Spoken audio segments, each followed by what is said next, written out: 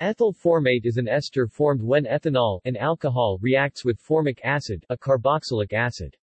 Ethyl formate has the characteristic smell of rum and is also partially responsible for the flavor of raspberries. It occurs naturally in the body of ants and in the stingers of bees. Exposure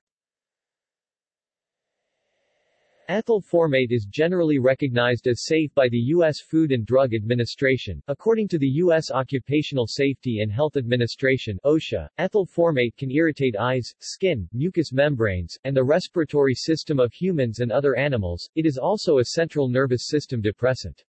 In industry, it is used as a solvent for cellulose nitrate, cellulose acetate, oils, and greases. It can be used as a substitute for acetone. Workers may also be exposed to it under the following circumstances. During spray, brush, or dip applications of lacquers. During the manufacture of safety glass.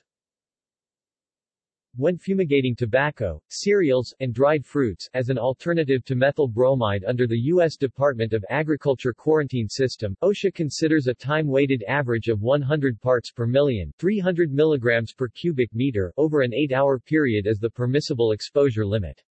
The U.S. National Institute for Occupational Safety and Health NIOSH, also considers a time-weighted average of 100 ppm over an 8-hour period as the recommended exposure limit.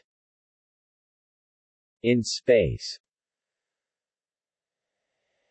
Ethyl formate has been identified in dust clouds in an area of the Milky Way galaxy called Sagittarius B2. It is among 50 molecular species identified using the 30 meters IRAM radiotelescope. References